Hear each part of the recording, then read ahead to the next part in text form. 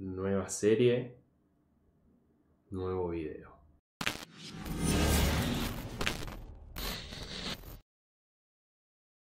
Amigos, bienvenidos otra vez a un nuevo video acá en mi canal. Eh, la verdad que tuve muy buenos comentarios respecto del video de penales, me alegro que les haya gustado y esperemos que este tipo de videos sigan sumándole para mejorar el nivel.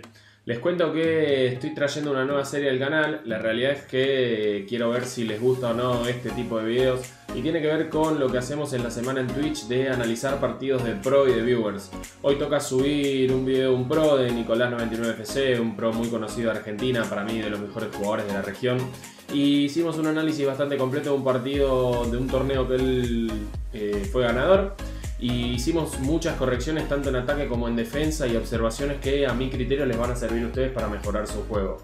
Si este video llega por lo menos a 500 likes, me van a dar por lo menos la guía de que este tipo de videos les sirve. Así que vamos, dejemos de introducción, vamos directo con el video y espero. Fíjense que bueno, acá Nico en ningún momento como que trata de ir para adelante, siempre busca abrir el juego, siempre pausado. Y su principal objetivo es poner en posición de gol al 9, digamos. Eh, es lo único que a él le importa, es tratar de llegar al 9 y dejarlo...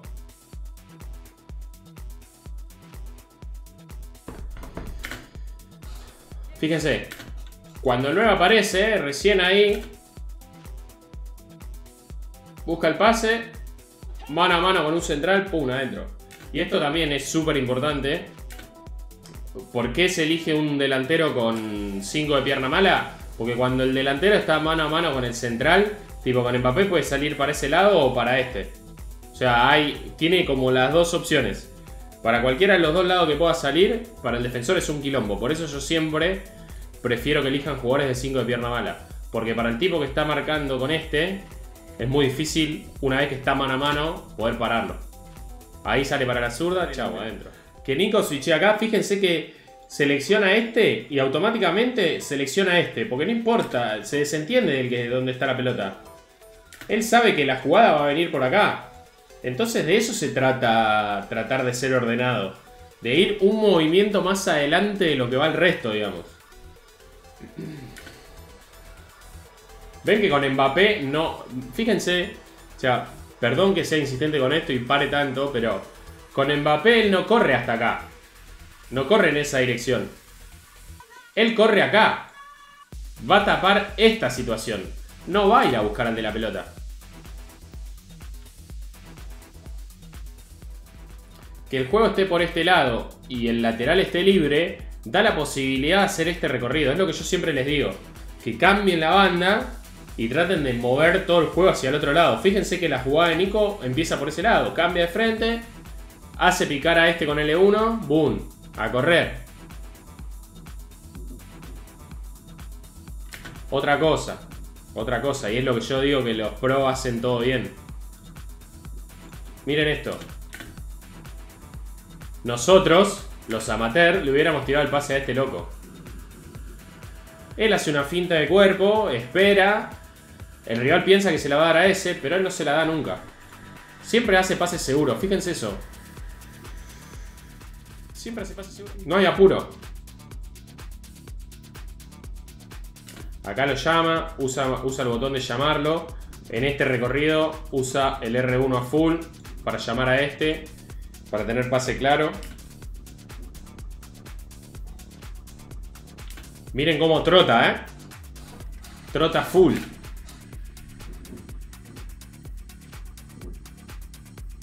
Otra cosa más. Son todas pequeñas cositas. Fíjense cómo el tipo lo hace picar a Mbappé. Y el rival que tiene seleccionado este jugador, ya solo con hacerlo picar, solo con hacerlo picar, lo mete en un problema. Porque con el central tiene que ir a tapar al que pica. Chau, con ese simple movimiento de hacerlo picar, se lo sacó encima. Miren esto. ¿Ven? Que este lo sigue acá. Pero él ya con ese movimiento dejó libre a este y lo pone en situación mano a mano con el central. Súper, súper situación clara de gol. Resolvió mal, ok, pero... Trota.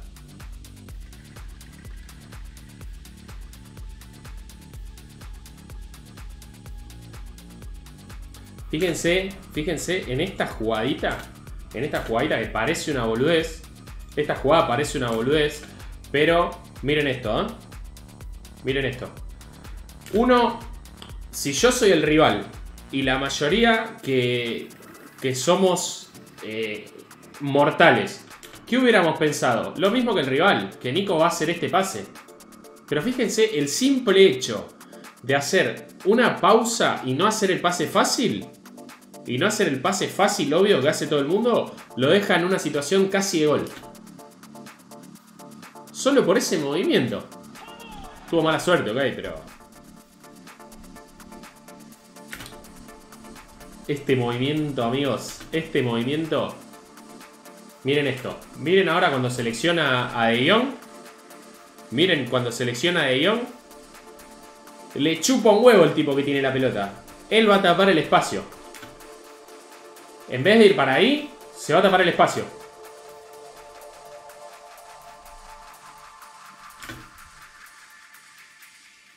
Importa quién tiene la pelota. Miren esto. Amaga con uno, vuelve. Con este tapa el pase a este. Miren esto. ¿eh?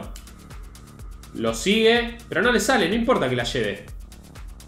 Y con Gullit va a ir para acá. Chau. Recuperada solo por ser prolijo. Es todo para analizar porque son esas cositas para mí que...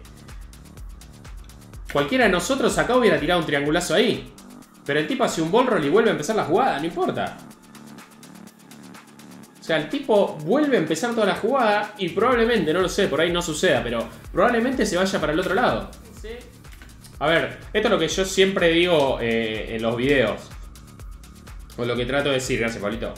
Lo que siempre trato de decir es... Eh, dos cosas. Uno, que el meta es buscar al 9. Siempre buscar al 9 en situación de gol. Segundo, y vuelvo a repetir lo mismo. ¿Por qué el 9 tiene que tener 5 de pierna mala? Por esto de cómo resolvió la K. Ya se la Está bien, saca un dragback increíble. Pero cuando se para acá, el rival que tiene a estos dos tipos no sabe si va a patear de zurda, si va a patear de derecha, si va a hacer una elástica, si. O sea, al tener uno de 5 pierna mala y 5 de skin ni hablar, pero tiene incontables posibilidades de hacer lo que quiere. El simple hecho de cómo cuando saca al rival del medio, el tipo va acomodando a los jugadores como haciendo este movimiento. Cortinea haciendo esto. Sus jugadores hacen esto. Van de acá para acá, sí. En ningún momento va a ir a buscar a ese, a ese ni a ese. Cortinea el tipo. Se mueve, boom, de un lado a otro. Mírenlo, ¿eh? Switchea arriba, vuelve. Switchea este, va para abajo. No pasan de esta línea. Fíjense que en la única zona, en la única zona que él presiona o va a meter a los jugadores es acá. En esta zona. Cuando el rival la tiene por acá, no importa. No importa lo que suceda. Él lo mantiene al margen. Obviamente lo está ayudando el score, ¿no? Va 2 a 0, pero fíjense que la zona de presión, observen esto que es un movimiento que también hacemos mal muchos de nosotros. Y es, o sea, la distancia que tiene con este muñeco respecto al que lleva la bocha, eh, siempre lo tiene ahí como cerquita, pero no lo va, no lo va a topetear. Ven que él siempre, el arco está allá, su espalda. Lo tiene ahí. Total, los dos receptores son este y este. Mientras tapa este espacio, todo bien. ¿Ven? Tapa espacio. Acá el tipo, creo que la quiere pasar ahí y lo caga. Vean esto. Parece una boludez, pero lo repito porque es súper, súper importante. Miren esto, ¿eh? Con Mbappé no lo va a presionar al que tiene la pelota. No hace eso. Se va automáticamente a tapar el espacio.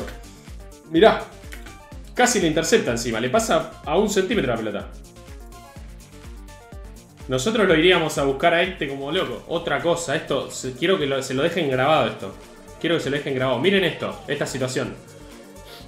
Nosotros, los mortales, iríamos a presionar al central hasta que se la podamos sacar. Fíjense el loco.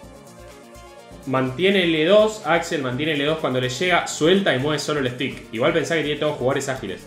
Fíjense que No, no le importa a este tipo. Automáticamente switchea acá y va a tapar otros espacios. Este lo deja ahí. ¿Ven?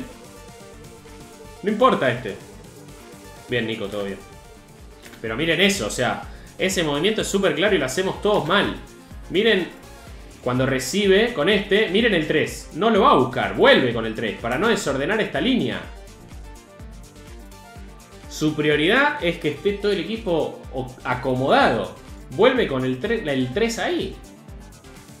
No importa si la pelota la tiene el loco ahí.